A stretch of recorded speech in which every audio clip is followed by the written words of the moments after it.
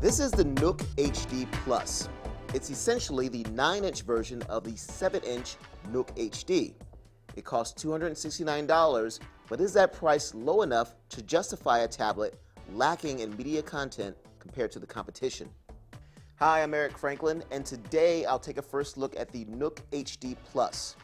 The Nook HD Plus has a light, fairly thin build, and unlike the 7-inch version, includes that little Nook circle we've seen on other Nook products. It also has a power slash sleep button, volume rocker, headphone jack, microphone pinhole, charging port, micro SD card slot, and a home button. The interface supports multiple user profiles for both kids and adults that are easily and swiftly switchable. There's a carousel of your content at the top, and each piece of content can be dragged down to the bottom of the interface if you so desire.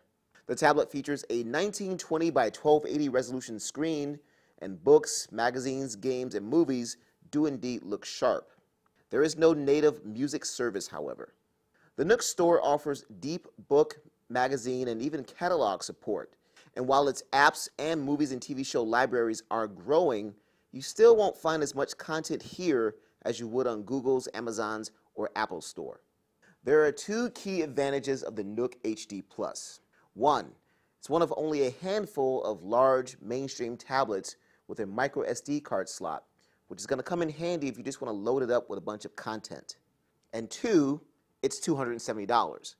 With great support for books, magazines, and catalogs, $270 for a large tablet makes for a pretty great deal. However, if you're looking for tons of great video, music, and app content, you'll want to look elsewhere. Check out my full review for more details.